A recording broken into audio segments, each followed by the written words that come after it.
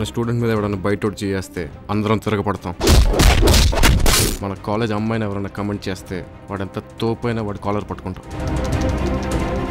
స్టూడెంట్సే కదా తిరిగి కొట్టలేవన్న ధైర్యం.